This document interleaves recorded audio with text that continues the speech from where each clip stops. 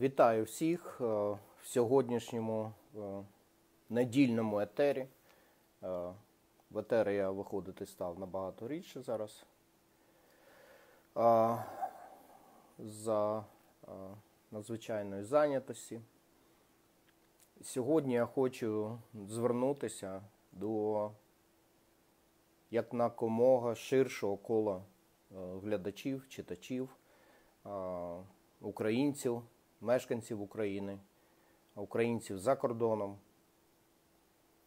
всіх тих, хто не байдужий, всіх тих, хто не байдужий до долі України, долі е, української державності, українського прапору, українського паспорту, да? всі, хто має до цього відношення.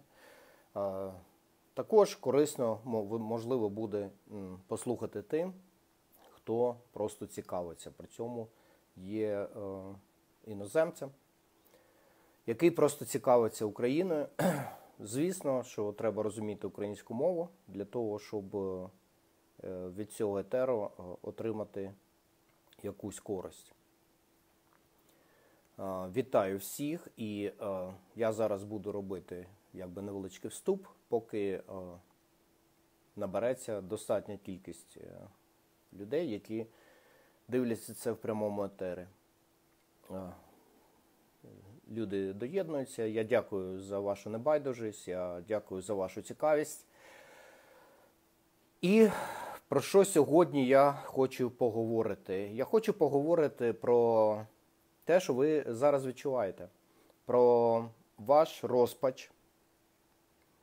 Я хочу поговорити про ваше відчуття деякої безвигідності. Е, Я хочу поговорити е, в такому сенсі, щоб ви подивилися на своє життя, на свою життєдіяльність за останні декілька десятиріч. Щоб ви, можливо, прийняли мою точку зору, яка є, звісно, е, суб'єктивною, яка є е, людиною, якій може легше робити якісь висновки, тому що він е, дихає повітрям свободи, і яка теж є заангажованою з е, точки мого світогляду, е, з, з того, як саме мій світогляд і мій життєвий досвід і мої знання змушують мене думати та робити логічні висновки. Про що йде мова? Позаду мене, якщо хтось цікавиться, я зняв е, світлину професійного гравця в хокей, який подарував мені, е, коли ми з ним познайомилися з НХЛ команди Colorado Avalanche, і повісив цей, е, цю копію, точну копію документа, прямо і папер, і е, кольор, і все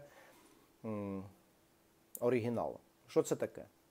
Якщо ви погано бачите, або якщо низька якість підключення, е, вам може не вдасться прочитати, але якщо ви подивитеся уважніше, в кутку верхньому ви побачите написано майже готічним шрифтом, да? це староанглійський шрифт, написано We the people. Ми народ. Дуже рідко, коли американці використовують е, поняття народ, вони використовують е, поняття нація. І їм не заважає те, що у них люди різної шкіри, е, різної раси. У них нація базується на ідеології. І вони себе називають One Nation under the God. Ми одна нація під Богом. І я хочу сьогодні поговорити про те, що може допоможе вам визначитися нарешті і свою шкалу координат, свою нульову точку відрахунку поставити на більш правдиве місце. Знаєте, є таке поняття, хто мав справу з навігацією. Це моряки, я є моряком, хто цього не знає, льотчики, інші групи, да, мандрівників та військових. Є таке поняття True North, правдивий північ. Бо є північ, який можна подивитися, наприклад, на магнитному компасі, і цей північ не є правдивим, він блукає, якщо можна так сказати. Він постійно змінюється. Це пов'язано е, з металевою е, е, магмою в центрі Землі, з процесами, які там задіяні. Є правдивий північ. Без правдивого північу мапи скласти і досягти нам точки, куди ми хочемо прийти, просто неможливо.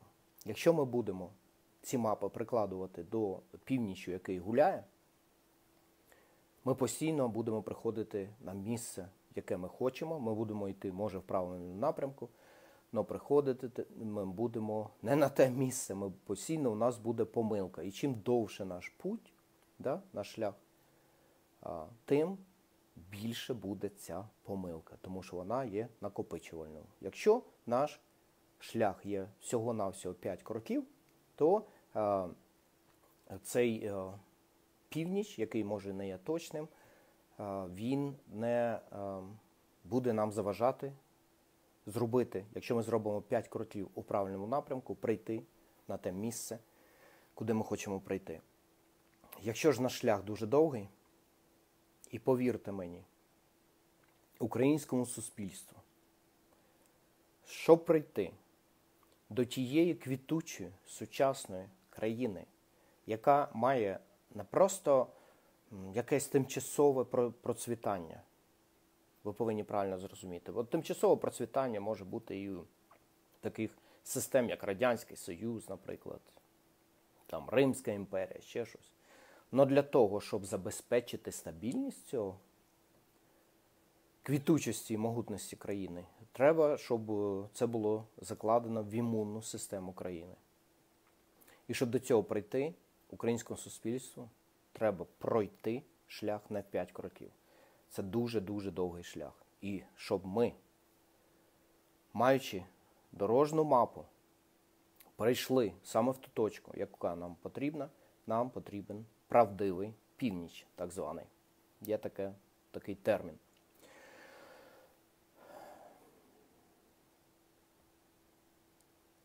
Для початку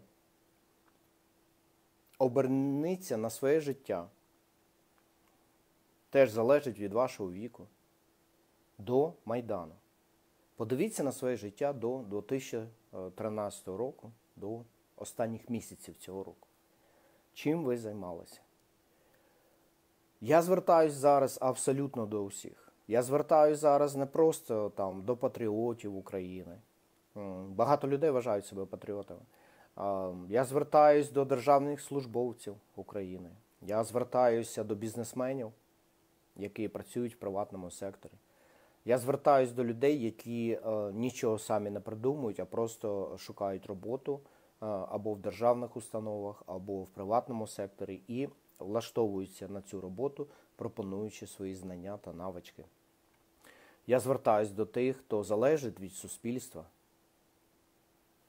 молодь, яка ще не може працювати, е, пенсіонерів, які вже не можуть працювати, е, людей, ем, яким, у яких обмежені можливості, і їм дуже важко мати якийсь е, гідний рівень життя до тих, хто е, зараз займає якесь положення в політичному або бізнес-середовищі і вважає, вважає, що в нього все склалося, що в нього все нормально.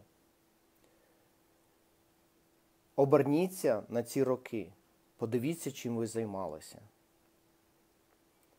Я вам пояснюю, незважаючи на ваш стан матеріальний, е, ще якийсь там стан, чого ви досягли. Ви ці роки змарнували. Ви змарнували ці роки, і я вам пояснюю чому. Ви змарнували ці роки, бо вас багатьох привчили до халяви. Вас багатьох привчили до того, що треба піти і взяти, не думаючи про те, що після цього залишиться. Чи можна буде брати постійно? Вас можна порівняти з одним феноменом, який існує в будь-якому суспільстві. Е, цей феномен пов'язаний пов'язаний з людьми, які не вміють е, користуватися великими грошима. Не просто грошима, не просто е, ви отримуєте зарплату, живете, може, від зарплати до зарплати, чи складаєте якусь копійчинку. Ні. Великі гроші. Коли наступає такий момент, наприклад, в американському суспільстві, я поділюся з вами своїм життєвим досвідом, те, що я знаю. Такий момент наступає дуже рідко, але регулярно, майже щотижня, 100% щомісяця, коли хтось виграє одну з двох найвеличезніших лотерей, які існують в Сполучених Штатах Америки, в яких задіяні всі штати Сполучених Штатів Америки, в яких е, так званий джекпот, тобто виграшний фонд, е, зростає в геометричній прогресії. Все починається з після того, як хтось виграв, все починається з 25 мільйонів доларів розіграшного фонду. Через тиждень він вже стає приблизно 80. Ще через тиждень, якщо ніхто не виграє, а є два розіграші на тиждень, він вже може досягати 120-200 мільйонів доларів. Нещодавно у нас був рекордний е, розмір цього джекпоту, коли е, якось дуже дивно ніхто не міг довго виграти. Він досяг півтора мільярда доларів. Ну це був абсолютний рекорд, який може ще 10 чи 15 років не повториться. Е, незважаючи на те, якою цікавою може бути тема збагачення за одну ніч, да? ви просинаєтесь і ви дивитесь на цей лотерейний квиточок, і ви вже мультимільйонер або навіть мільярдер. Це дуже цікава тема. Але ми зараз будемо розмовляти про іншу тему. Ми будемо розмовляти про тему людей, яким це багатство падає з неба. І я вам пояснюю, як з цим багатством треба впоратися. Є два типи людей. Є люди, які розуміють, що вони в цьому нічого не розуміють. Коли вони виграють лотерею, вони не е, торопляться побігти в лотерейну комісію, підписати свій квіточок да, і е, прийти з своїми водійськими правами, з квіточком, до, тобто доказати свою ідентифікацію та отримати приз.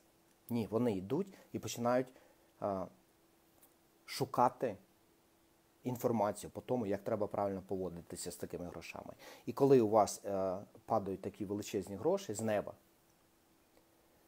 і ви зараз розумієте, до чого я це все веду і для чого я все це розказую. Вам це ніхто на вашому телебаченні не розкаже. Це розкажу я вам я, Рустам Ташбаєв, американець українського походження, представник діаспор.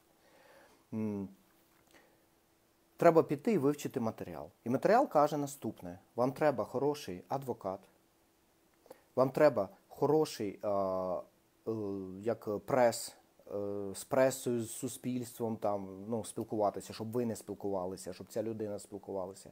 Бо вас почнуть бомбардувати з проханнями позичити або дати гроші.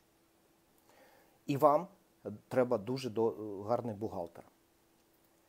Не просто бухгалтер, а якась компанія, яка е, займається менеджментом грошей на професійному рівні. Що ця компанія зробить? Я вам поясню. Ця компанія запропонує вам всі ваші гроші до останньої копійки. Ну, може щось взяти там на свої перші, там, може, у вас якісь борги, чи якісь там, чи ви одразу хочете хату якусь купити, чи ще щось. Оце ви там виграли 200 мільйонів. Да? От візьміть 1 мільйон, витратьте на те, що у вас якби горить. Ну, решту 199 мільйонів треба вкласти фондовий ринок цінних паперів, розподілити ці папери по трьом напрямкам як, наприклад, державні облігації, які дають дуже низький відсоток, але при цьому вони дуже маленького ризику. Потім середній напрямок, так званий, де ризик підвищений, але більш-менш гарантований, і вже трошки вищий е, відсоток. І третина, остання третина інвестицій іде високий ризик. Високий ризик це, наприклад, Елон Маск Якщо хтось не розуміє, все, чим займається Елон Маск, є високим ризиком, можна прогоріти. Ну якщо воно получиться, то і відсотки, ваші заробітки будуть найвищими. Зрозуміло? Таким чином, така компанія поміщає ці гроші. За останніх майже 100 років відсоток інфляції, інфляції американського долара у середньому, ви вас всі вчили математиці, ви знаєте, що таке середньостатистичне, усереднення за ці 80, 90, майже 100 років є 4% на рік. Ринок цінних паперів теж усереднено, якщо ви так поклад... зробите інвестиції, покладете гроші в цінні папери, вам дасть теж усереднено. Один рік може бути нижче, другий рік вище, але якщо це усереднити, це буде 14% на рік при правильному вкладанні грошей. 14% мінус 4% на інфляцію ви можете використовувати 10% від тієї суми, яку ви поклали туди, і при цьому, якщо перерахувати, ну не на золото, не на щось таке, ви розумієте, якусь тверду єдини, одиницю, яка зовсім не, не змінює свою цінність, ваша сума там, те, чим ви оперуєте, те, що дає вам прибуток, ніколи не зміниться. Вона не буде зменшуватися. Хоча ну, на долари вона буде, розумієте, на 4% все одно рости, але це буде покривати інфляцію. Я зрозуміло поясняю. І є люди, друга категорія людей, які не хочуть вчитися цієї мудрості. Це просто мудрість, це є розумне поводження з грошами. Бо люди, які так себе поводять, по-перше, ну не можуть вони витратити 200 мільйонів на рік. Так. Ну, те, що їм впало з неба. Але вони можуть витратити 20 мільйонів на рік. 20 мільйонів на рік вони можуть витрачати на протязі всього свого життя. І при цьому сума, яка приносить їм ці гроші, не зменшується. Вона тільки збільшується там. Потім вони ці гроші, бо вони старіють. Правильно, вони так чи інакше підуть у могилу. Вони ці гроші передають своїм спадкоємцям. Таких людей дуже багато в західному суспільстві, дуже багато людей, які отримали гроші від своїх батьків, від своїх дідів, саме таким чином. При цьому гроші не просто передаються, а вони передаються з використанням так званого траст фанда, який обмежує нащадків від того, щоб взяти, піти, сняти усі гроші, які для вас зберегли ваші батьки, і програти їх в казіно, наприклад. Зрозуміло, да? Там чітко вказано, що ви повинні йти отримати навчання, інакше ви не будете отримувати стільки грошей, скільки там можете, да? а будете лише там третинку отримувати. Після того, як ви отримаєте, е, ну, закінчите своє навчання, ви повинні або працювати такій-то такій-то фірмі, ну, мається на увазі приносити користь суспільству, да? або започатковувати свій бізнес. І тоді людина, яка розпоряджається цим трастфандом, адвокат, це юрист, економіст, довірена людина, людьми, які вже померли. Ну, він вирішує, скільки грошей дати нащадку щомісячно, наприклад. Зрозуміло? А, Тоді він дасть більше. А якщо людина починає просто гуляти ці гроші наліво-направо, то тоді він отримує мінімум. А цей фонд буде готуватися вже для онука, для наступних нащадків. Зрозуміло, так? Все це, що я вам зараз пояснив, сподіваюся, що вам було цікаво, це називається правильний money management. І це є наука, е, яка викладається в коледжах, в університетах. Це є те, чому люди, е, передаваючи свої знання з покоління в покоління, на протязі тисячоріч навчилися, дійшли до цього. Зрозуміло, так? І є люди, які не хочуть використовувати досвід багатьох поколінь до них. Є люди, які не поважають вчителів, не поважають справжню науку. Вони хочуть, щоб все було швидко, щоб все було легко. І як же може бути ще легше, якщо тобі з неба впало в нашому прикладі 200 мільйонів доларів? Ви ще не розумієте, про що я кажу? Ви не розумієте, що таке 200 мільйонів доларів в нашому контексті? 200 мільйонів доларів в нашому контексті це спадщина Радянського Союзу. Хто це ще не зрозумів на цей момент? Це спадщина, яка вам досталася. І тепер давайте поговоримо про другу категорію людей, яка не хоче вчити мані менеджмент, яка не хоче використовувати досвід людей, які вже пройшли через всі граблі за багато тисяч років. Ці люди беруть ці гроші, на радощах біжуть, купляють Феррарі та Ламборджині. Вони не знають, що тільки поміняти масло та фільтри в цьому Ламборджині коштує 3600 доларів за один раз. Вони не розуміють податок на таку машину. Він в сотні разів відрізняється від е, навіть е, машин, які вважаються luxury, Мерседес або БМВ. Вони не розуміють, коли вони купляють Версальський палац, скільки їм буде обходитися обслуговування та податок на нерухомість на цей палац. Вони цього всього не хочуть розуміти. Їм не цікаво. Їм не цікаво, тому що вони ледарі, тому що вони ходили в Макдональдс все своє життя і мріяли про халяву, і заповнювали ці лотерейні квіточки. І нарешті ця халява впала з неба. По статистиці, згідно статистики, 70% тих, хто виграв лотерею, мільйони і сотні мільйонів доларів, через 5 років оголошують банкрутство. Коли ти отримуєш лотерею в Сполучених Штатах Америки, в тебе є дві опції. Або ти отримуєш половину виграшної суми у вигляді готівки і одразу. Або це тобі розбивається на 25 років на 26 виплат. Багато людей йдуть для цієї опції, бо тоді ти отримуєш начебто як два рази більше грошей, фактично. Ну, Їх треба навчити рахувати інфляцію, да, і е, ну, більш вигідно взяти все готівкою і вкласти в ринок, і цим ти більше через 25 років будеш мати, ніж ти будеш просто отримати від лотереї. Ну, багато людей хочуть гарантовано, от я буду гарантовано, от я 200 мільйонів виграв, давайте поділимо на 26, це скільки там 8 мільйонів кожного року мені будуть давати життя забезпечено, все нормально. Через 5 років, від 3 до 5 років, ці люди вже оголошують банкрутство. Через 5 років тих наступних 21 виплата по 8 мільйонів доларів вже належать не їм. Вони вже це просрали. 70% тих, хто виграє лотерею.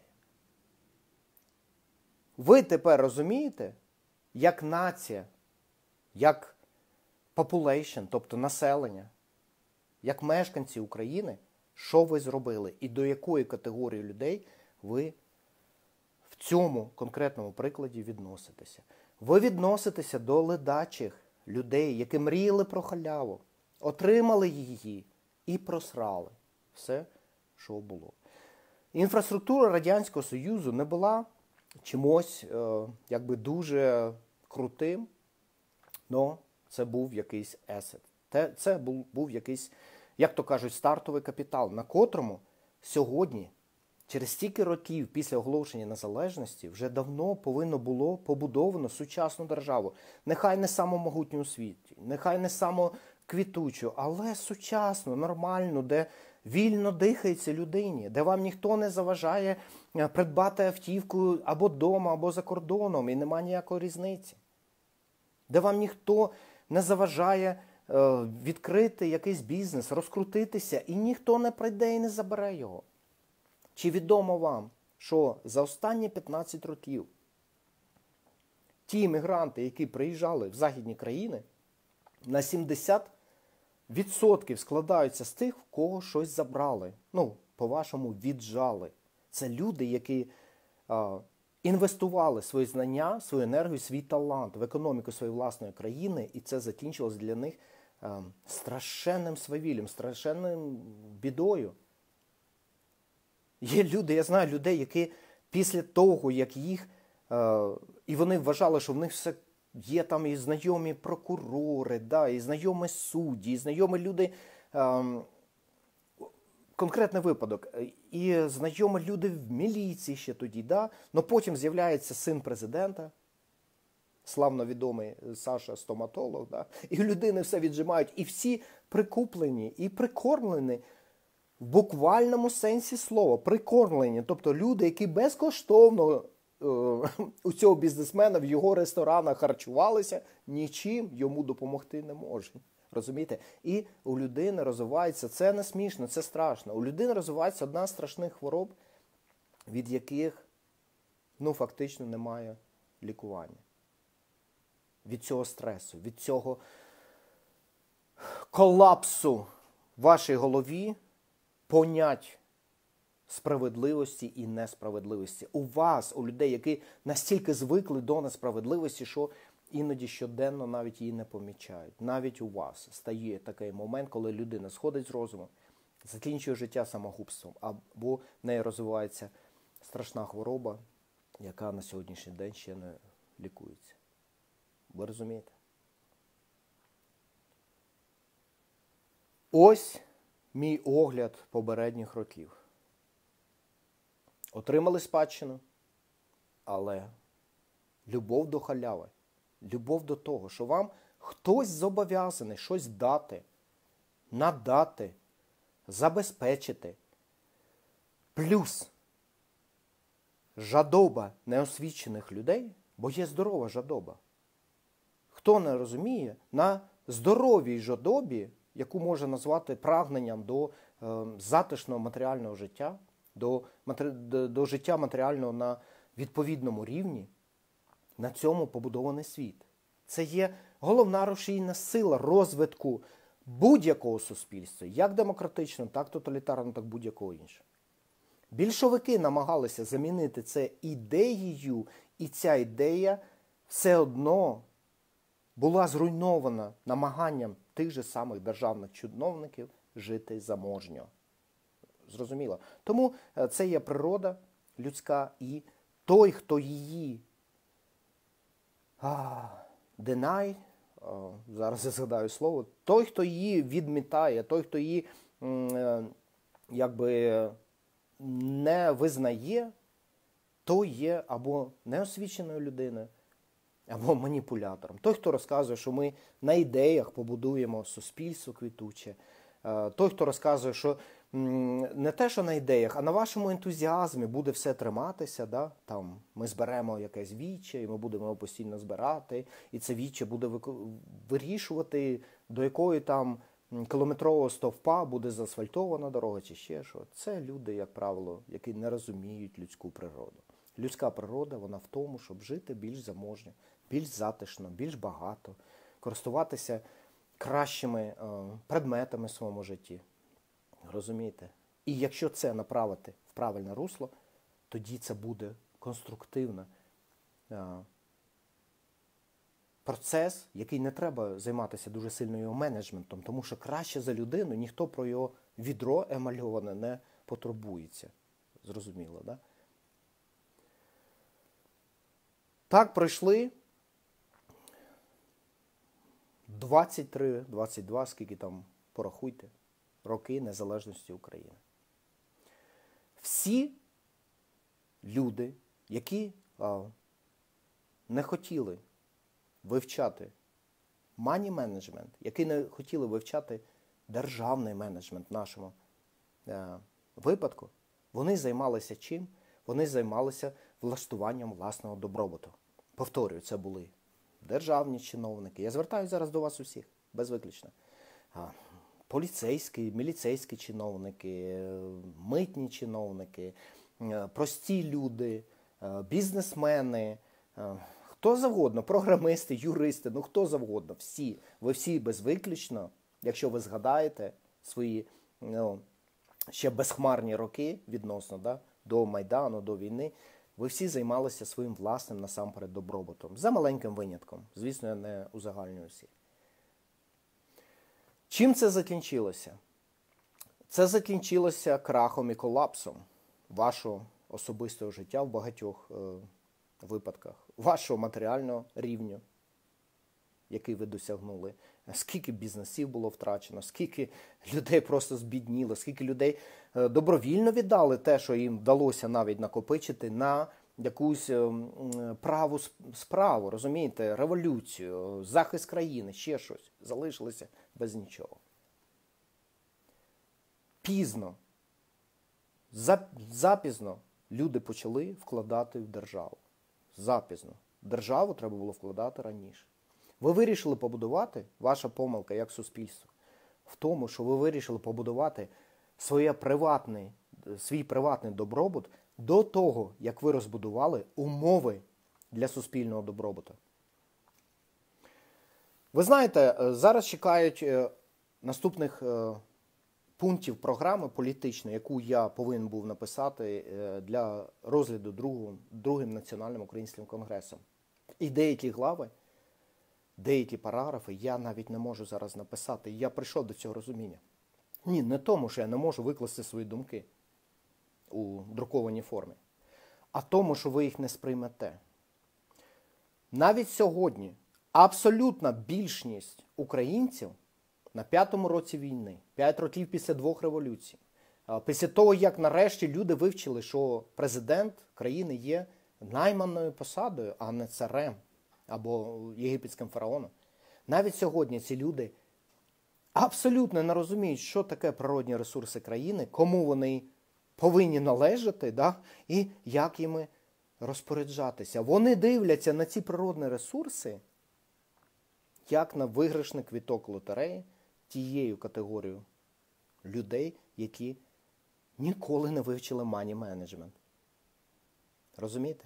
Вони думають, що вони будуть комусь давати в рент, і хтось прийде і буде сплачувати їм цей рент, а вони будуть жити на халяву. Вони з цього, що їм досталося, це наша земля, це наша країна. Але нема жодної країни у світі квітучої, розвинутої, яка б за цей рахунок, за рахунок того, що вона просто рентує свої багатства природні, щоб вона стала заможньою, багатою, е, військово незалежною, дуже озброєною, такою, на яку дуже небезпечно нападати, квітучою супердержавою. Ця економічна модель не буде працювати. Треба шукати якісь інші виходи. Багато людей, абсолютно більшість цього не розуміють. І коли ти маєш справу з такими невигласами, тоді дуже легко їм пообіцяти ну, щось таке, що колись звучало земля крестьянам, фабрики робочим. Сьогодні це звучить трошки по-іншому, але суть то не помінялася. І коли це звучить не просто від відомих корупціонерів та популістів, а коли це звучить навіть від лідерів національного визвольного руху, ті, ці більшовицькі гасла, то я в цьому бачу ще 24 роки. Купляння Феррарі, Ламборджині, не розуміючи, скільки заміна масла на ці машини коштує. Купляння яких палаців, з яких вас потім вам дадуть підсрачник та викинуть, бо ви вже заклали 21 виплату вашої лотереї наперед. Я вже в цьому це все бачу. Я бачу людей, які так нічому і не навчилися, і вчитися не хочуть. Я бачу людей, які обіцяють те, що неможливо виконати. І я бачу купу людей, які з радістю сприймають ці обіцянки, не розуміючи, що їх неможливо виконати. І знову будуть невиконані обіцянки.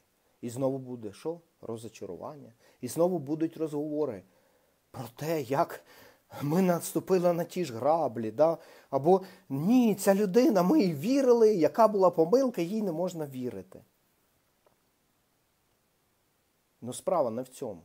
Справа в тому, що ви повинні для себе визнати, що ви є ледащими людьми, які не хочуть вчитися.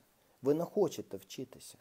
І поки ви не впораєтесь самі з собою, ви не впораєтесь з ворогами, ви не впораєтесь, ну добре, у когось там немає ворогів. Да? Хтось там, е, наприклад, працю, зараз працює в поліції, особливо полку поліції особливого призначення міста Києва і вважає, що в нього немає ворогів. Ну, є якісь там оці націоналісти, патріоти, неадеквати, яким треба іноді дати да, добре по макитрі.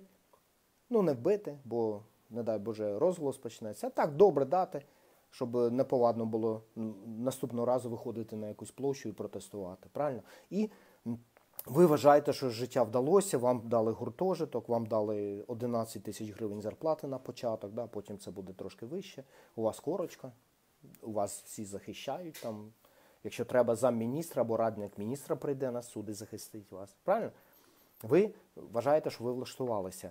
Е, я би, якби міг, кожного з вас провіз би в нормальну квітучу країну, розвинуте суспільство, щоб ви подивилися на те життя, яким живуть ваші колеги, які теж дягають балаклави. А балаклави тут дягають лише і виключно SWAT – Special Weapons and Tactics. Це суперпрофесіонали. Я думаю, ви бачили голівудські фільми, там недалеко від правди, повірте мені. І коли ви побачите їх життя, коли ви побачите, на яких автівках вони їздять, які в них розваги з сім'єю, да, ці водні мотоцикли, снігоходи, кросові мотоцикли, всі ці діла, спортивні супербайки, у поліцейських, так. Коли ви бачите, яке в них державне забезпечення медициною всім для їхньої сім'ї, коли ви побачите, в якому віці вони виходять на пенсію, якого розміру ця пенсія, і в них відкрита дорога ще в багатьох приватних компаніях, коли ви побачите їхню клановість супротив вашої клановості, коли Якби я вас міг вести в їх середовище, де ви просто з ними попрацювали один місяць, подивилися, як надаються накази, подивилися, де знаходиться командир підрозділу під час виконання цих наказів, і як це все зроблено і забезпечено, тоді б ви, працівники першого полку особливого призначення міста Києва, зрозуміли би, що у вас не життя, а у вас існування. Ви існуєте і вашу ваше здоров'я, вашу молодість використовують інші для захисту своїх приватних фінансових інтересів, що вас кидають супротив народу, що вас роблять крайніми, і вас вже зробили крайніми, і ви будете крайніми, тому що, незважаючи на накази, незважаючи на обставини, ви, саме ви, кожен з вас персонально несе відповідальність за свої дії. І якщо ви виконуєте наказ, який не відповідає загальнолюдським цінностям, то на вас така ж сама відповідальність, як на командир, який дав вам цей наказ. Це просто приклад людей неосвічених. Вони не знають краще. Вони не знають краще, тому для них це, я кажу про тих, кого називають зараз беркутами, да? поліцейських полків особливого призначення Києва та інших міст. Ці люди просто не знають кращого життя. Для них це вже схопив Бога за бороду. Розумієте? Їхня шкала, їхній True North, правильний е, північ, дуже далеко від реального. І вони відчують все те, що вони зробили неправильно, лише тоді, коли вони закінчать свою поліцейську кар'єру або е, отримують, наприклад, не дай Бог, да, е, ушкодження якесь фізичне, стануть е, incapacitated, тобто інвалідами, по-вашому. І тоді тоді на цю мізерну пенсію, на цю мізерну допомогу, і вже в них ніхто е, ну, якби не потребує їхніх е, якби, роботи, да, участі, тоді тільки вони відчують, за що вони стояли. Цих розочарованих людей, які були в так званих органах, а потім після органів не встигли вони стати генералами і нахапати да, багато сотень або мільйонів доларів.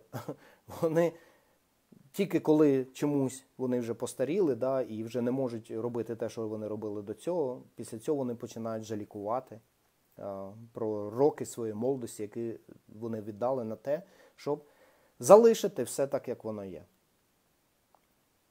І це стосується всіх. Це стосується всіх. Ваше невигластво насамперед. Жадоба, яка є у багатьох людей, і це абсолютно нормально. Е, і ваша привита вам якась впертість, начебто безкомпромісність і непохитність, коли справа йде не про гроші, а про щось інше. Коли справа йде про гроші, поведінка абсолютної більшості міняється з безкомпромісною на дуже-дуже погодливу та угодливу. Все це зробило з вас матеріал захисту цієї системи, матеріал захисту цієї форми державного врядування, чи як це назвати. Ну це не є державним менеджментом. повертаючись до лотереї, да, це не є державним менеджментом або мані менеджмент, як я про це розказував. Це є поведінка людей, яким впало щось з неба, і вони це просто тринькають наліво-направо і нічого ну, не залишиться. І так воно і є. Ви по сьогоднішній день користуєтесь інфраструктурою Радянського Союзу, який в самому кращому випадку, якщо щось там, якусь трубу проклали в останній рік Радянського Союзу, на сьогоднішній день це вже в аварійному стані повинно бути. Тому інфраструктура е, та радянська, в яку ви не вкладали гроші фактично, а просто там десь залатали, десь там щось е, патиком якимсь підперли того моста, да? вона зараз в стані ну, катастрофи економічної, гуманітарної, чи як її правильно назвати. І саме страшне не те, що це сталося. Це сталося, це треба прийняти. Да? От Нам впало 200 мільйонів, і ми 160 мільйонів з цього лотерейного виграшу протринкали. Но 40 ще є. І самим розумним в цьому моменті вашого розвитку, вашої історії, да, там, я не знаю, ходу історії, є зупинитися і перестати робити щось неправильно. Для початку треба зупинитися. Зупинитися. Просто. У вас ще є якийсь резерв. Треба зупинитися, озирнутися, зрозуміти, що відбулося. Зрозуміти, що ви зробили неправильно. Давайте перейдемо до сьогодення, щоб я вам пояснив свою суб'єктивну точку зору на те, що ви зробили неправильно. Після Майдану, після анексії Криму пройшло вже фактично 5 років. Або тільки 5 років. На що ви витратили ці 5 років? З того, що я вам пояснював зараз, за ті 20 чимось років, які повністю ви розтринькали, чи почали ви себе поводити по-іншому? Чи змінили ви засіб мислення свій? Чи змінили ви алгоритм дій? На що ви розтринькали ці 5 років? О, я вже, ну, оговорочка да, вийшла. Розтринькала, я вже вперед сказав. Я вам скажу, на що ви їх розтринькали. Ви їх розтринькали на з'ясування, чий Ташбаєв проєкт, наприклад. Або який поганий Порошенко.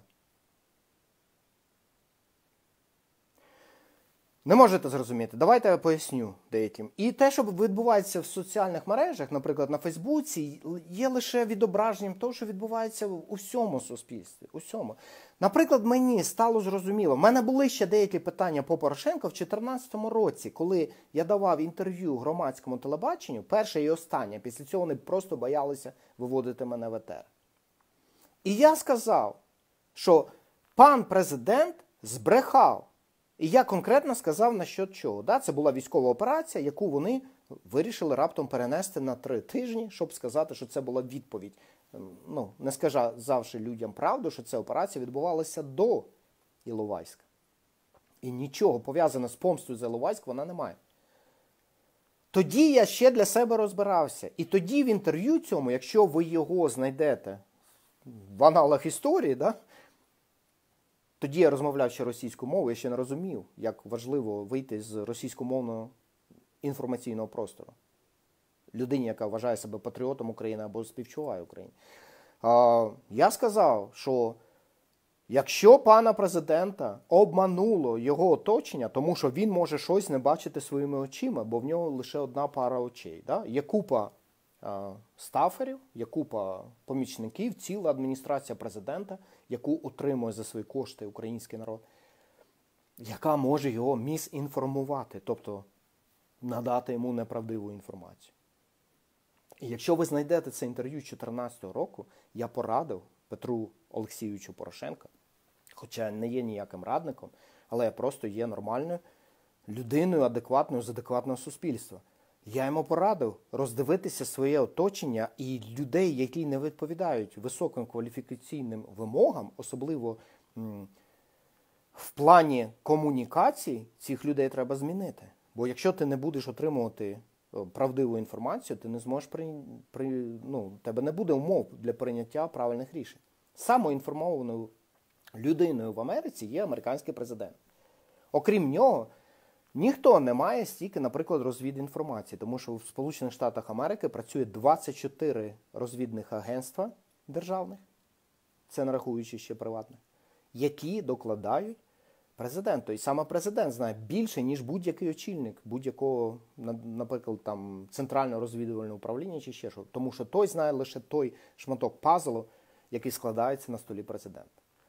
Тому інформація, її правдивість і невикривленість є одною з головних умов. Це як загартована сталь, яку треба використовувати в сучасному е, вогнепальній зброї. Інакше вона буде погано працювати, і в потрібний момент, коли треба знищити ворога, вона знищить вас самих. У 2014 році я ще розбирався. У 2015 році, після Дебальцева, після блокпосту 31, після того, чим закінчилася оборона Донецького аеропорту і все інше, я розібрався. Розібрався. Закінченість дії. Зупиніться, розгляніться навколо себе. Подивіться на всіх цих людей, які зараз волають про те, який поганий Порошенко, як він щось там не так робить, йому не можна вірити. Вони ще розбираються, чи що, я не можу зрозуміти. У мене дія закінчена. В 2015 році я як нормальна, е, нормально розвинута, нормально освічена, досвідчена людина, я вже розібрався. Люди, які на вигласи є, вони будуть розбиратися безкінечно. Вони безкінечно будуть волати про те, як якийсь політик він поганий, він не такий, він не сякий. Та це вже крапку треба на цьому в 2015 році було ще поставити. І вже давно направити свою енергію, свої зусилля на те, щоб такого знову не сталося. Ключова сентенція. Чим відрізняються розвинуті суспільства? Вони вивчають проблему або помилку, яку вони зробили.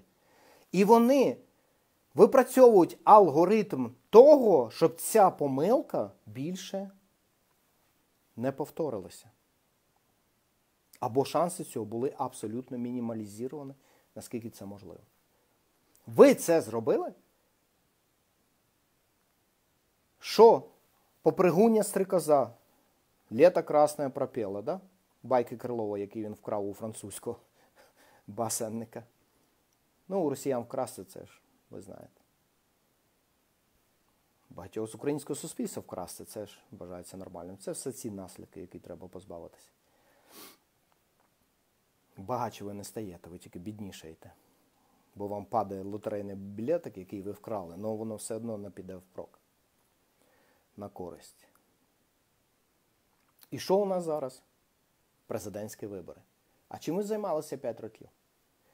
Чим ви займалися 5 років? Тільки не треба мені розказувати про війну, про волонтерство, про ще щось. Не треба мені розказувати. Скажіть мені, чим ви займалися 5 років? Що зараз серед кандидатів, які йдуть на президентські вибори, і це абсолютно правда. З цим може не погодитися тільки якийсь і справді фанатик там Порошенка чи ще щось.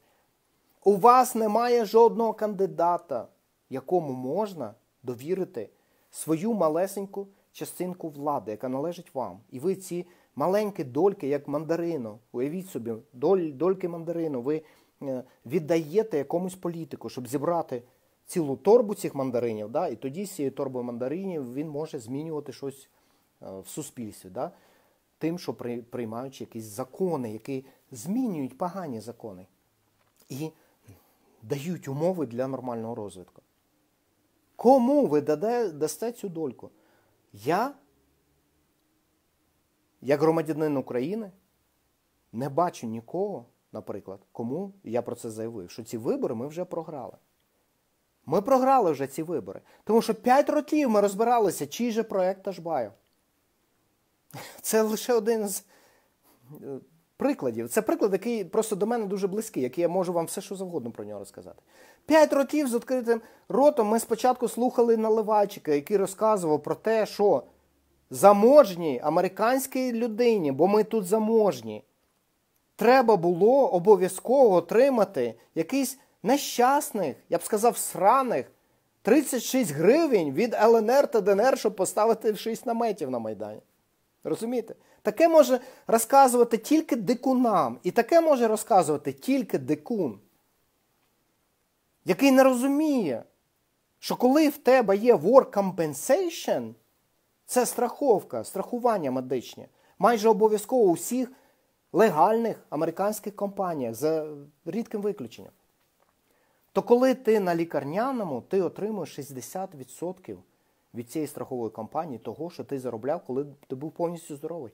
Я був на лікарняному тоді.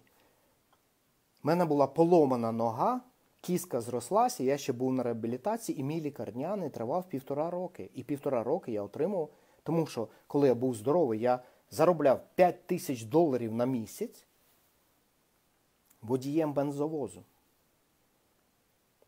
Коли я зустрічався з Геращенко в кафе біля Міністерства внутрішніх справ, я провіз від американських спеціалістів спеціальну програму моніторингу соціальних мереж Фейсбуку, Інстаграму та інших, ВКонтакті, Однокласники.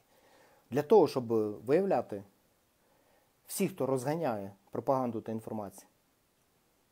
Він мені сказав: Рустам, ти знаєш, що про тебе там пишуть? Що ти водієм бензовозу. Він Йому в голові не вкладувалось, да? Так, я був водієм бензовозу, який заробляв 5 тисяч доларів на місяць. Тому, коли я був на лікарняному, я отримав Work Compensation Insurance, який сплачував мені щомісяця 3 тисячі доларів. Я що, вибачте, за 3 тисячі доларів 6 наметів поставити не можу на Майдані? Можу. Мені для цього не треба ЛНР, ДНР. Але невигласам, дикунам можна розказати зовсім інше, і вони це сприймуть. Чому? Тому що вони ледащі, тому що вони люблять халяву і в будь-шому що виходить за межі свого власного царювання, володарювання да, і е, турботи про свій власний добробут, це все інше повинно бути обов'язково проплаченим проєктом ну, в розумі цих людей. Бо не буває по-іншому, правильно? Як це так взяти свої гроші і пожертвувати там на якусь е, дію, яка тобі одразу не дасть якогось результату? Це їм дуже важко зрозуміти. І, звісно, на це вони витратили 5 років свого життя. На це ви витратили 5 років свого життя, розбираючись, чий проєкт Ташбаїв. Ну де же там вуха? Ви прочитайте Темчука, людини з Луганську, який, е, я вважаю, просто за випадком якимсь опинився на українській стороні барикад цього конфлікту російсько-українського. Склалися б по-іншому обставини він був би на протилежній стороні барикад. Да, Дмитро Тимчук, який йшов там в перших номерах е, Народного фронту на вибори. Розвідка, інфроспротив, розвідка. За даними розвідки, почитайте, за даними розвідки, п'ять людей ми там, одного нашого бійця вбили, але п'ять сеперів ми завалили. Якої розвідки? Де підтвердження? Якої розвідки? Розвідка повинна, ці дані повинні йти як мінімум, щоб вони вважалися правдивими більш-менш. Вони повинні йти як мінімум від трьох незалежних джерел. Це вважається азами розвідницької діяльності. У нас же дикунам достатньо сказати, за даними розвідки, ви не переживайте, що наших, як в тирі, снайпери російські та сепарські, вбили наших двох. Ми зато їх сімерох завалили у відповідь. І нехай вам тепер спиться спокійно і буде добре.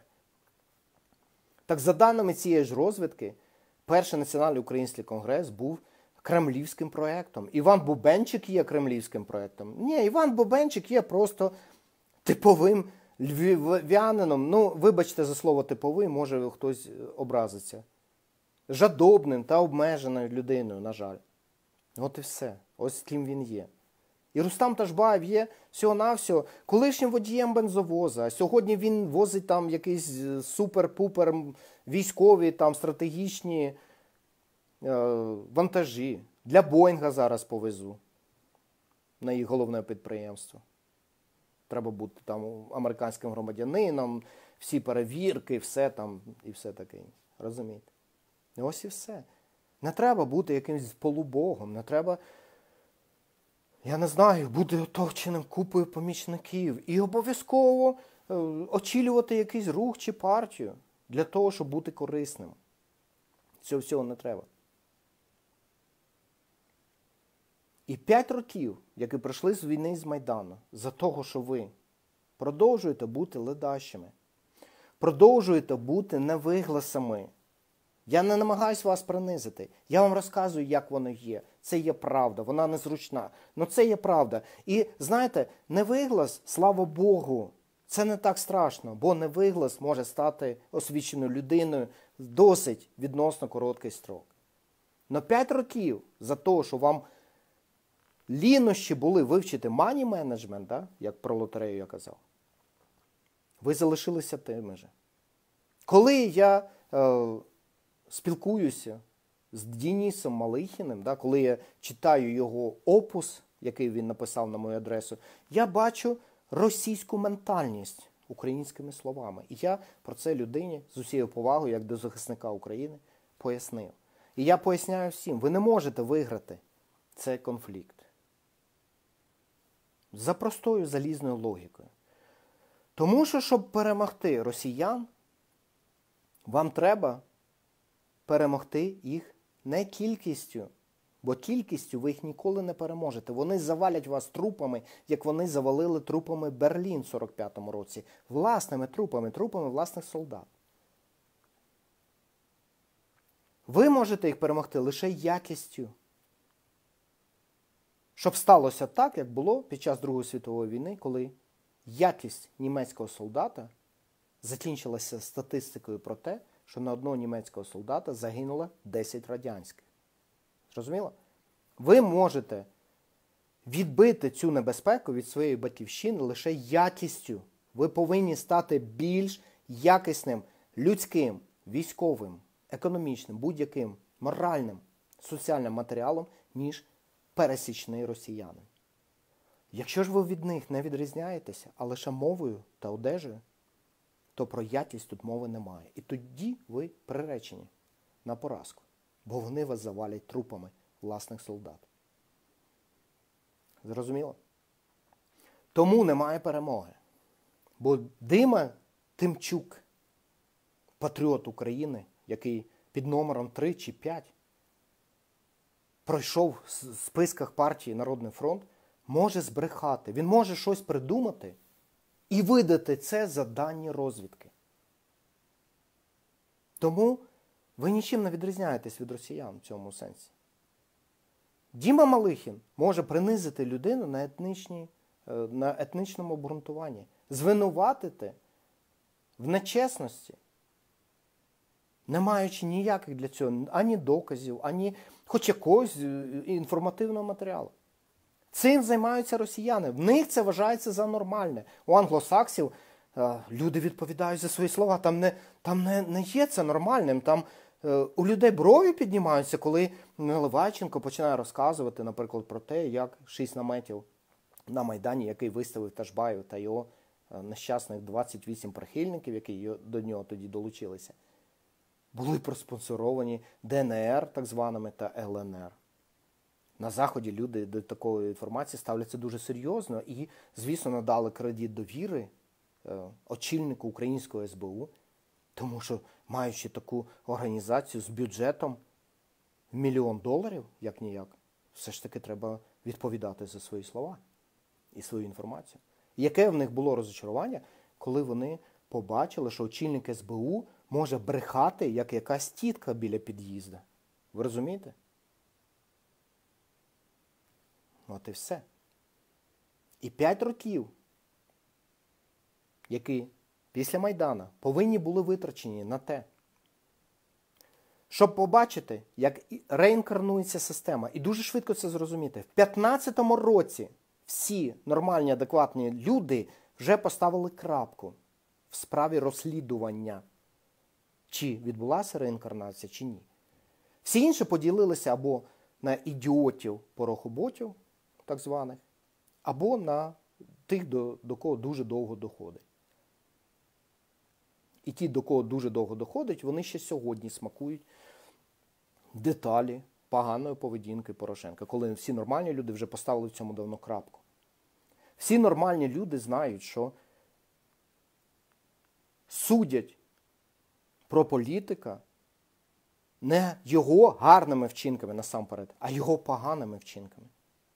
Політик має високий рейтинг не завдяки тому, що він зробив правильно, а завдяки відсутності або практичній відсутності того, що він зробив неправильно. А у невигласів та просто проплачених все навпаки. Знизила тарифи колись там, да? а при Гриценка стільки квартир військовослужбовцям дали. А Порошенко там воно черешеньки поїв під мостом і зупинив російську агресію. І все.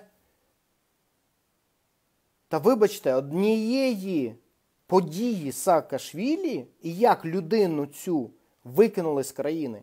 Або Олександра Боровика, який з Німеччини приїхав, прийняв українське громадянство і намагався реформувати роботу уряду, як йому перерізали інтернет і таблічку з двері знімали. За одне це вже треба було давно поставити крапку, зрозуміти, і там нема на що витрачати свої зусилля свій час. Но ви весь свій час витратили на обговорення цього, на обсмоктування деталей. Чи Ташбаю є проєкт, чи той такий, чи той сякий. Це мені нагадує тих е, маленьких людей, американських такі є, які виграли лотерею. І вони жили до того, як вони виграли цю лотерею, вони жили в трейлер-парку.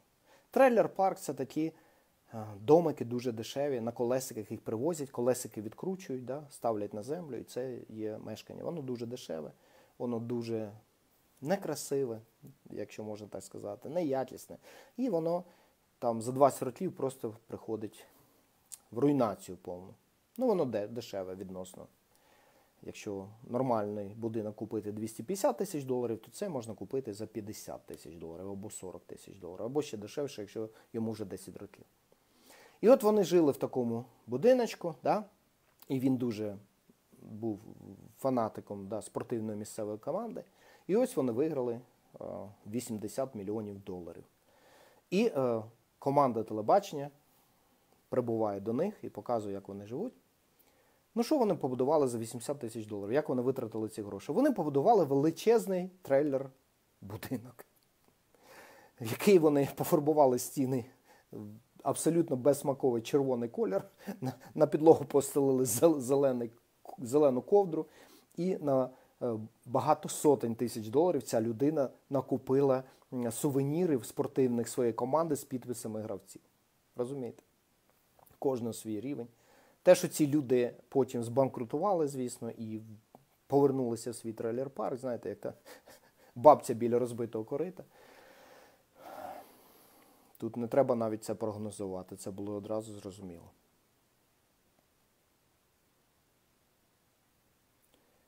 Багато людей зараз каже, Ташбаєв, Ще 5 років Україна не вистоїть. Про що ти кажеш? Нам треба зараз обирати. Обов'язково.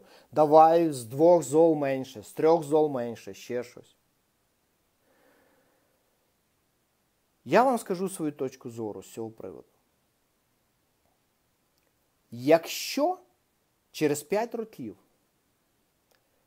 ми підемо на вибори з сформованою українською елітою, з тим, щоб українське суспільство і вороги, і друзі вже знали цих людей, знали, на що вони здатні, мали величезний кредит довіри до тих, хто і справді здатний отримати ці дольки влади, сконцентрувати в собі велику владу і почати реформацію країни. Якщо ми за 5 років впораємося з цією задачею, Ну, я не буду з вами сперечатися і казати, що я вдягну там клоунський костюм, чи балеріну вдягнуся, чи ще щось. Ну, я буду вважати це надзвичайно швидким і ефективним процесом, який я можу навіть не вірити на цей момент. Бо коли хтось з не дуже освічених людей починає розказувати, ми не можемо втрачати ані місяця, ми не можемо втрачати. Ти що, який ще півроку, який ще 9 місяців? Ви пам'ятаєте, бігли, кричали, та ми зараз повинні робити. І це було е, в листопаді. Пам'ятаєте? Та ж бай, який там конгрес у лютому? Ми зараз повинні робити. Згадайте Івана Малько, да, згадайте Білу Балаклаву, згадайте е, людину, яку.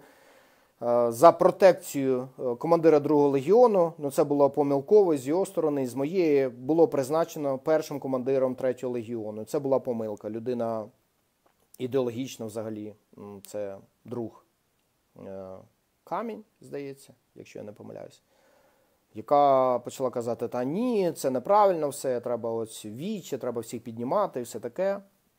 Кого піднімати? Кого піднімати? Людей, які 26 виплат лотереї протринькують за перших 3 роки, за 5 років? Розумієте? Ви тепер розумієте, про що я з вами спілкуюсь зараз? Змарновано роки до Майдану. Їх змарновано. Жили, використовуючи халяву. Ну, халява закінчилася.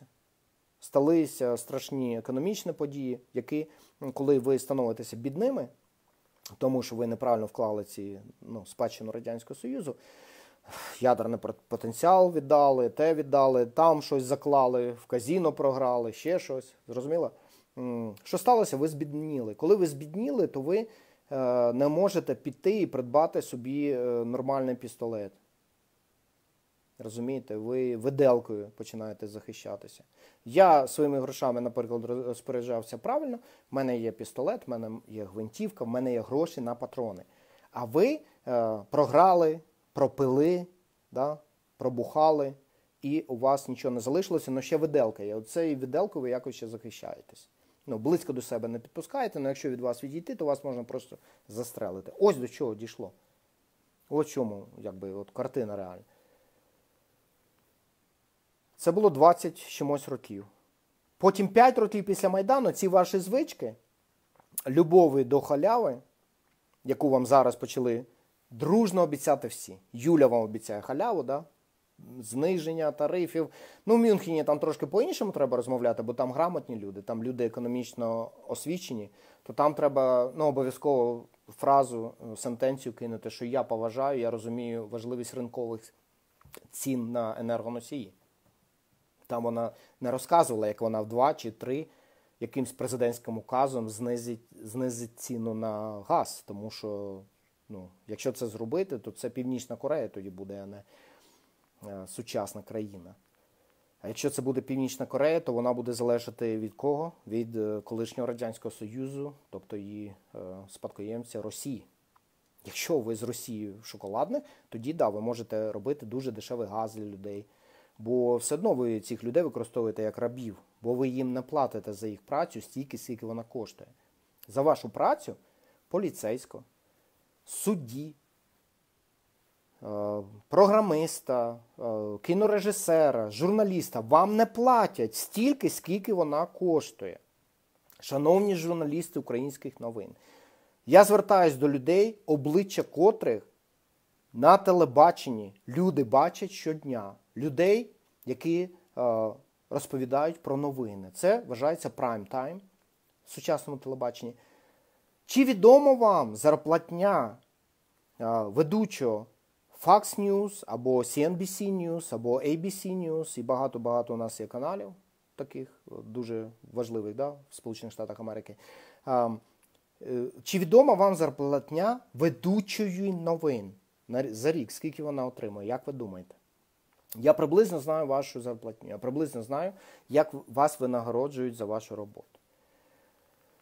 Ведуча новин в Нью-Йорку отримує за рік її зарплата, декларація вона повинна податки платити, від 8 до 12 мільйонів доларів. За їх працю їм платять такі гроші. Ви десь чули таке? Ви не чули таке, шановні ТСН, яке вражає, на жаль, своєю необ'єктивністю дуже часто. П'ятий канал, який, ви думаєте, ви там, якщо ваш власник президент, то ви Бога за бороду схопили. Та всі інші. Ведуча отримає від 8 до 12 мільйонів доларів. І ніхто їй не вказує, що їй казати, яка політика повинна проводитися, чи ще щось. Їй платять навпаки за те, що вона має свою думку і може вставити своє слово. І люди бачать в цьому щирість і відсутність маніпуляцій або вказівок, що казати і як казати. За це люди переключають саме на цей канал. А заможнє населення, звісно, повинно дивитися рекламу і на цю рекламу реагує тим, що купляє ці товари. коли населення не заможнє, а коли телеканали працюють лише для того, щоб олігархи могли далі грабувати, суперграбувати, то і вас також грабують, шановні ведучі телеканалів, шановні журналісти, які продали душу дьяволу, які щось збрехати, щось сфабрикувати і видати це за сенсаційну інформацію, ви в цьому не бачите нічого поганого. Ви самі допомагаєте їм вас особисто грабувати. Ну ви не дурні. Я думаю, що ви дурні. Ще з вашою освітою, з вашою етикою поведінки е, в суспільстві, да, ви знаєте, в якої руці тримати виделку та ножа. Я думаю, що ви супер дурні. Бо коли людина 8 класів освіти, і вона справді з свого села ніколи не виїжджала, то це одна. А вам з вашим розвитком такі от справи. І питання стоїть наступному. А на що ви витратите наступних 5 років? Викливши вам весь цей матеріал, я вас просто питаю, на що ви витратите 5 наступних років? На обговорення, чи довіряти Тажбаєву, чи ні? На поради? На критику? Ця світлина Е, малюнок, який е, хтось почав розпосюджувати в коментах е, до моїх постів деяких, я вважаю самим влучним графічним відображенням того, що відбувається за останні 5 років. Величезна черга критиків, трошки менша, але теж велика черга тих, хто щось радить. І третій мікрофон там для тих, хто щось робить. І там нікого, там тільки посі проходять. Розумієте? Ви будете щось робити? Ви будете для початку вільний час від влаштування свого власного добробуту, бо зрозуміло, у всіх є сім'ї, у всіх є якась діяльність, щось на стол треба покласти. Ви будете вчитися money management, як це у прикладі з лотереєю американською, а в нашому прикладі це називається державний менеджмент, соціальні науки та наука про. Е, свою, е, свій громадський внесок в загальну справу. Ви цьому будете вчитися? Чи ви вже все знаєте, і ви будете тільки роздавати поради? Чи ви вже все знаєте, і ви будете тільки критикувати? Чи ви розвідник світового масштабу, який запобіг анексії Криму і розгортанню російських військ для цієї операції, і ви зараз Тепер витрачаєте свою енергію на те, щоб засланого агента Ташбаєва та інших вивести на чисту воду. Чим ви будете займатися ці наступні 5 років? Подумайте про це. Чи ви будете далі плести по течі і бити кийками активістів, щоб їм не повадно було виходити на вулицю, якщо ви поліцейський? Першого особливого полку, першого полку особливого призначення міста Києва. Чи ви майор, підполковник поліції, молодець, в органах якого пройшла в райвідділках, коли ви били і забивали людей, вибиваючи з них е, самозвинувачення, закриваючи ці карні справи лише тим, що ви забили людину до полусмерті, вона там підписала все, аби ви перестали її бити. Чи ви будете продовжувати надавати накази, думаючи, що за вами не прийдуть? Я вам обіцяю що за вами прийдуть. Це справа честі для мене особисто, бо я нормальна, адекватна людина з нормального, адекватного суспільства. Я вам обіцяю, що за вами прийдуть. Якщо це не буде на державному рівні, якщо ми не зможемо зробити державу нормальною, все одно буде група нормальних людей, які за вами прийдуть і справедливість буде встановлена. Це відбудеться. Не підете ви на відпочинок після всіх ваших страшних гріхів. Спокійного відпочинку вам не буде. Ходіть та озирайтеся. Почнемо з тих, хто в 90-х роках це робив. Перейдемо до тих, хто в 2000-х, а потім прийде ваша черга. Коли ви станете нікчемними, коли у вас будуть труситися коліна та руки, коли ніяка держава бо вона гнила, і ви цю гниль тільки підтримували, вас не захистить і вам не допоможе, і буде начхати, що з вами відбувається. Тоді прийде не помста, розплата за ваші гріхи. Ми це розбудуємо, ми це запровадимо, ми це зробимо. Бо на цьому, на цьому базується перемога здорового глузду і справжніх людей над покидьками в будь-якому суспільстві, на будь-якому історичному етапі розвитку людства. І ви цей процес не зламаєте, не, пору, не зрушите, нічого ви не зможете зробити. Бо це є процес природній. До тих, хто дивиться на наступних 5 років.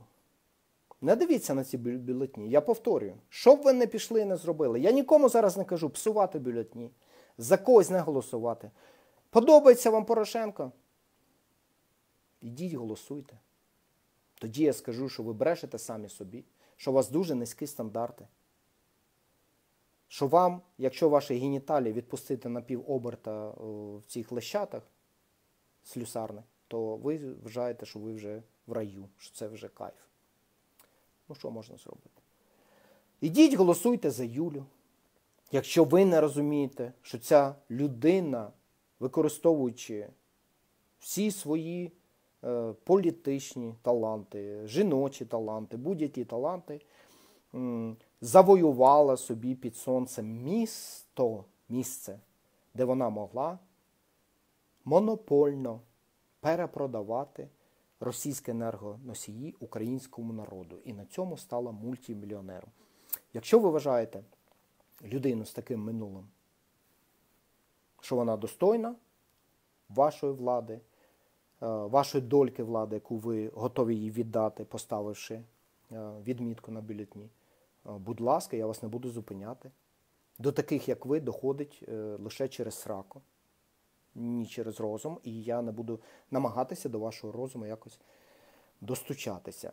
Е, інші кандидати, може хтось має якийсь шанс, але коли представник націоналізму починає розказувати більшовицькі байки в економічному насамперед, я не кажу ідеологічному, я не кажу.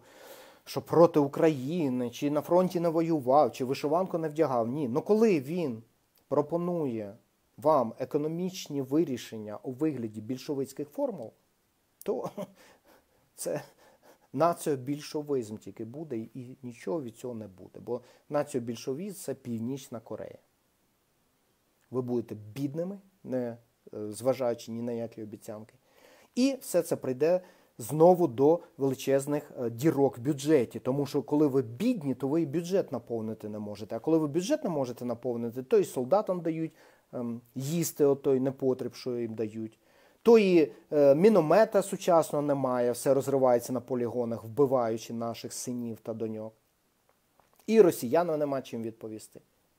І ніхто в армію йти не хоче служити. Всіх треба десь там вилавлювати по якимсь там облави е, ціли влаштовувати. Зрозуміло?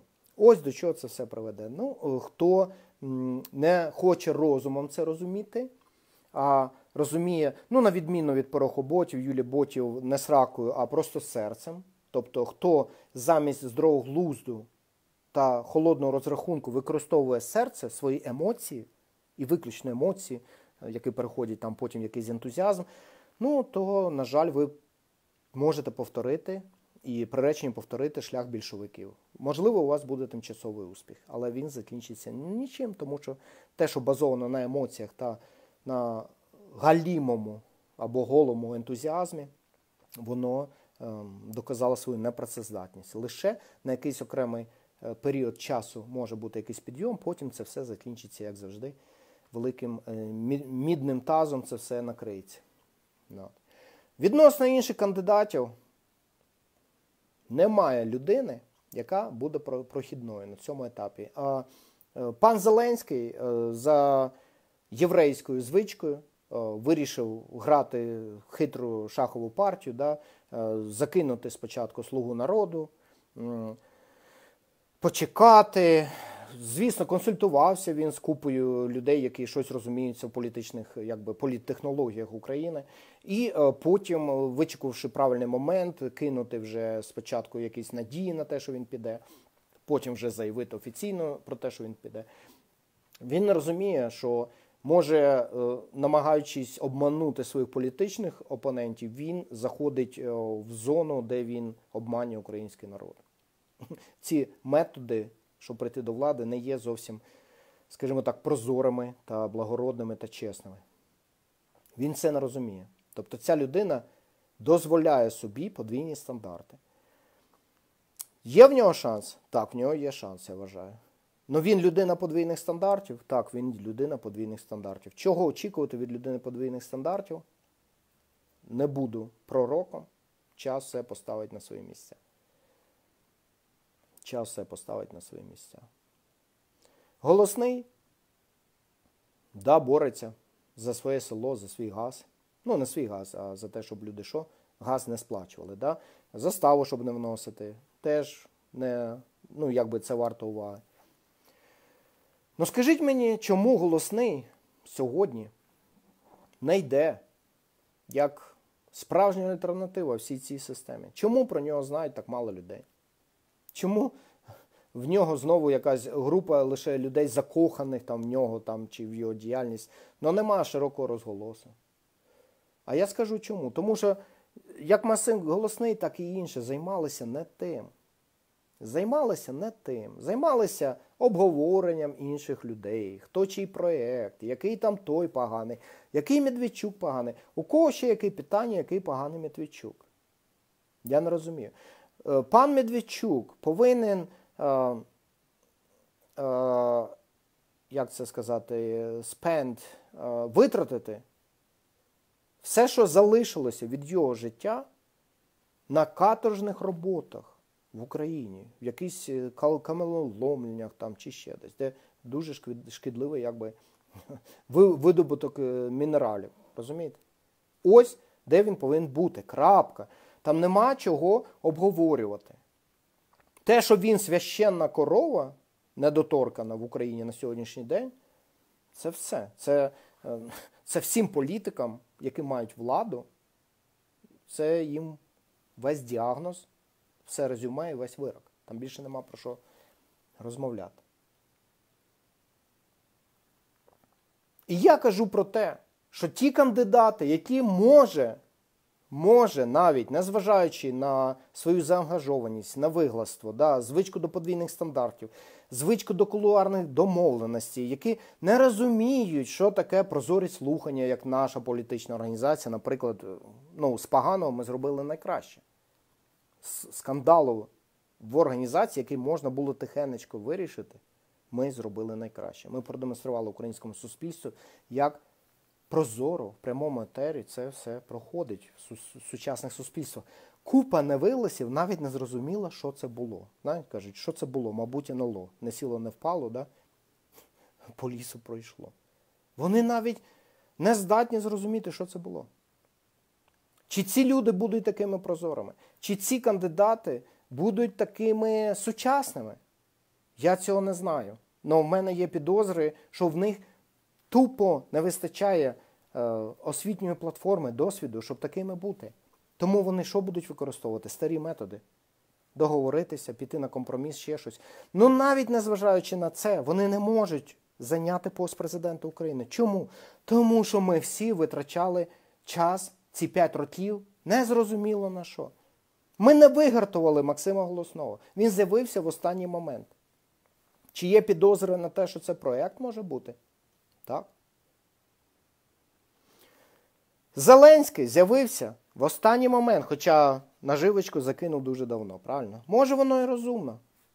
Но чомусь Зеленський не є на сьогоднішній день, як я це бачу, як не знаю, з американського суспільства людина. Я, Я не бачу, що він є сьогодні справжньою альтернативою в серці кожного українця. Ви розумієте, про що я? Не витратив він ці 5 років на те, щоб люди поклали йому свої душі та серця, вірячи в його наміри, вірячи в його політичну програму. прийнявши до серця і до розуму його алгоритм зміни системи державного менеджменту або мані менеджмент, як ми це казали про випадок з лотереї американської. так? Він на це час витратив. Він витрачав час на те, щоб заробляти гроші, підтримувати свою сім'ю, свій колектив. Да? І колись там закинув вудочку з далеко планами, які повинні йти. Да? І на сьогодні він, я думаю, став жертвою свого невигластва в цьому сенсі. Він вирішив грати на емоціях українців, а українці дуже емоціональні. І на емоціях можна майдани навіть створити. Ну на емоціях, на ентузіазмі країну не зміниш. І я думаю, що пан Зеленський зробив величезну помилку тим, що він не витратив ці роки на те, щоб люди, вивчаючи його діяльність, спілкуючись з ним, бачачи його наміри, вивчили його і повірили йому. Сьогодні розмова йде лише про обгортку. Бо хто є пан Зеленський? Незважаючи на його впізнаваємость, да? незважаючи на його стільки багато годин, тижнів, років на сцені, ніхто не знає, хто він є такий. І в цьому проблема. Хто є пан голосний, ніхто не знає. Я не знаю, хто є пан голосний. Коли він їде і зустрічається з якимись старими пердунами з якогось там парламенту, для мене це не показник. Для мене це не алгоритм зміни біднішої держави Європи на сучасну супердержаву, в яку росіяни стоять в черзі в українське посольство в Москві, щоб поїхати на заробітки. Я сподіваюся, що мій меседж сьогодні вам зрозумілий. Я сподіваюся, що для когось з вас щось там в розумі зрушилось з місця. Я сподіваюся, що цих 5 років вашого життя ви не прогуляєте в казіно та в барах. І ви розумієте, що я маю на увазі? Те, що вам залишили, спадщина, яку вам залишили, саме ті, хто боровся за краще життя, в будь-якому, до речі, ролі, навіть в комуністичній формі червоноармійця, хтось боровся за ваше краще життя. Вони вам залишили спадщину. А ви цю спадщину пропиваєте і прогулюєте. Чи будете ви цим займатися наступні 5 років? Чи витратите ви наступні 5 років на плітки, на чутки, на брехню, на дібільні поради, на дібільну критику? На дібільну е, розслідувальну діяльність людей, які не здатні були навіть передбачити захоплення Криму, своєї власної території. І не просто передбачити, а запобігти цьому.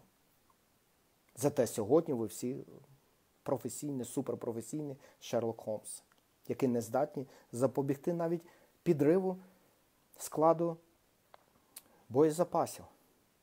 Розумієте про що? Сідайте за навчання. Від'юстируйте свою систему координат до справжньої. Її похиблено, її схиблено. Ви пам'ятаєте 15-річного капітана е, цього Жульвєр, чи хто написав, вже не пам'ятаю. Ви пам'ятаєте цього Негору, який взяв і підклав під корабельний компас сокиру для того, щоб вони прийшли не в Америку, а в Африку. Вам під ваш компас в голові сокиру покладено дуже давно. І ви ніяк її не позбавитесь. І цей північ показує зовсім не там, а його показує десь на сході. І тому у вас іде все направлено. Тому, думаючи, що ви, якщо зараз комусь продасте свої ну, послуги, да, якомусь політику, чи за тисячу гривень там е, поставите відмітку в бюлетні, чи ще щось робите, е, що ви цим щось е, допоможете собі. Ні, ви цим не допомагаєте, ви тільки далі, далі прогулюєте, прокучуєте те, що ще можна врятувати, те, з чого можна ще щось розбудувати. Не просто ще 5 років, а лише 5 років залишилося для того, щоб майже безкровно конституційним засобом закінчити з кремлівським, з російським правлінням в Україні. Якщо не напряму за російськими наказами, то за російською ментальністю, за російськими методами, рейдерства, віджиму, да, залякувань, фізичного знищення це все звідтіля. Є лише 5 років. Вони пролетять так швидко, як ці 5 років після Майдану. Що ви будете робити через 5 років? Чи будете ви мати двох-трьох діячів, які в ваших лавах загартувалися, які не словом, а справою пройшли через всі спокуси і залишилися порядними людьми, і яким, про яких знає все українське суспільство, наявності котрих заздрить російське та інше суспільство, що українців є такі люди. І ці люди будуть йти до влади, знаючи, і ви будете про це знати, що вашу долю влади, згідно Конституції України, ви довірите саме їм. Бо ніякі вони не популісти, ніякі вони не корупціонери, ніякі вони люди подвійних стандартів. А вони були такими ж, як усі, але в процесі, процесі нашої діяльності, коли ми не витрачали час на плітки, чутки, брехню, переливання з пустого порожня. Вони загартувалися, вони навчилися і вони готові з нами разом, з нашою підтримкою, змінити Україну на сучасну могутню державу. Чи будете ви в такій позиції через 5 років? Це залежить від однієї єдиної людини. Цю людину ви можете побачити в дзеркалі. Дякую за увагу.